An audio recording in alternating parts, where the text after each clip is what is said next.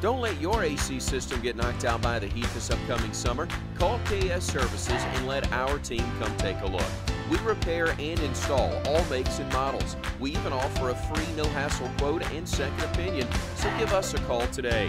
With our flexible financing, you can literally pick your payment. We may even be able to help you knock down that utility bill a bit. KS Heating and Air, the team ensuring your comfort.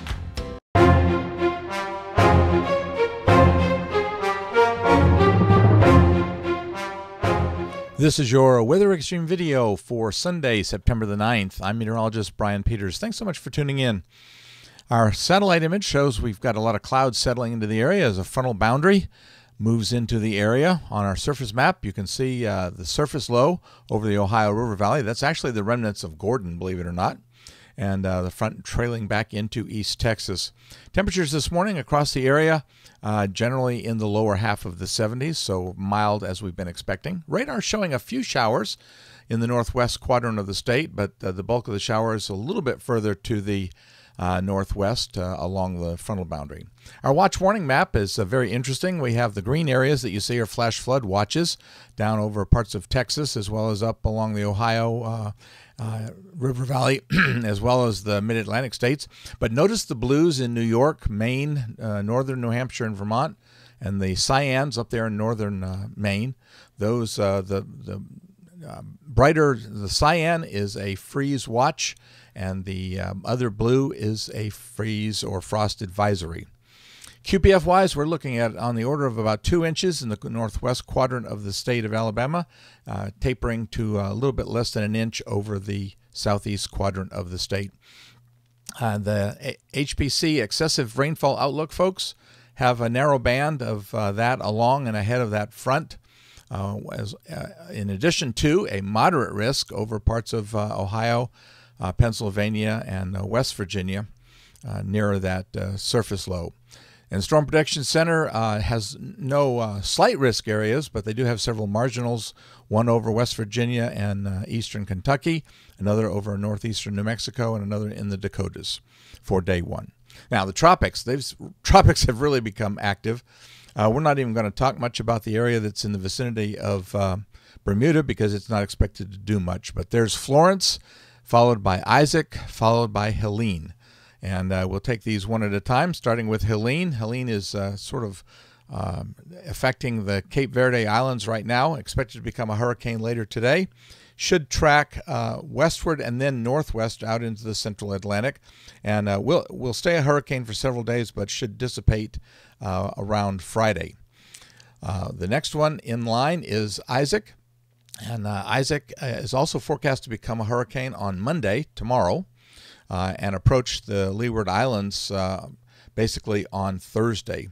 And then the one we really need to watch is Florence. Florence expected to become a hurricane, still a tropical storm uh, at this writing, but uh, expected to become a hurricane later today, and a major hurricane on Monday, and remain a major hurricane as it approaches the southeast coast of the U.S. And there's still a great deal of uncertainty as, a, as a represented by that cone. Uh, so we are not going to talk about you know a specific point. I I realize the little M there on 2 a.m. on Friday is over uh, uh, William, uh, the uh, Wilmington area. So you know there you have it. I mean it's, it's there. All right, let's get to the 06Z GFS model run. And here comes a little trough that is uh, bringing this front into our area and taking the surface low up into the northeastern U.S. And of course, we see the surface low there over eastern Kentucky and the Ohio River Valley, and the, the front draping down into the coastal area of uh, Texas.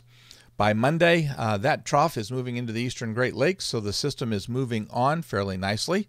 Uh, but the front is not because it's going to be dragged down into our area and kind of take up residence. Uh, we see that a little piece of that trough stays back over the lower Mississippi River Valley and parts of East Texas on Tuesday, so we stay a little bit unsettled. And of course, now here comes Florence on Tuesday. Uh, we can see it in the uh, right side of the picture there. On uh, Wednesday, uh, we have uh, ridging beginning to develop over the eastern part of the U.S. there. And you see that strong ridge to the north of Florence. And that is what is uh, basically helping to bring it into the southeast U.S. coast. And we see that on Thursday. Now, this is where uh, we can look at a little bit of model differences. There's the surface chart, and of course, you can see it's a major hurricane. And uh, there is one concern here that I have, and that is how long it's forecast to stay in the vicinity of the North Carolina coast. Uh, but here's the uh, European, and you can see that European is also quite strong, so they're both in good agreement on that. Uh, but uh, they're not in agreement on the exact position. The uh, European a little bit faster, bringing it into the shore, uh, but certainly a very close agreement to the National Hurricane Center's official forecast for that. Now, this is where the problems start: is the GFS doesn't get rid of uh, Florence. It keeps it around the Carolina coast. You can see that on Friday. And uh, the surface pattern, uh, still a very strong hurricane, a major hurricane, as it remains out over the water. Now, the European, on the other hand, has uh, weakened it somewhat and brought it into, I guess you'd call that central North Carolina. Uh, so the storm not quite as uh, strong, but certainly still not moving much. Uh, and we see that on Saturday for the GFS once again. It's over the eastern part uh, and, and sort of straddling the uh, Outer Banks area. And then finally, by Sunday, we still see it uh, in the upper air pattern and at the surface over that area. So that's, that's talking about three to four days of, of extreme hurricane conditions. This is not going to be a fun ride for uh, the eastern half of North Carolina and the coastal areas there of the Carolinas in general. Looking out into voodoo country, finally the GFS moves it out by the 18th of September. That's Tuesday. That could mean five or six days. Wow, that's just not uh, hard to fathom. By the the uh, 21st of September, we see a little bit of uh, troughiness, so uh, so uh, no excessive heat to speak of, but we do note that the uh, ridge is there again around the 24th of September, so some warm days still ahead.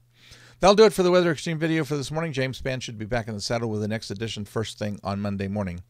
In the meantime, always stay tuned to the blog for notes on Alabama's weather. I'm meteorologist Brian Peters. Have a great day. Godspeed.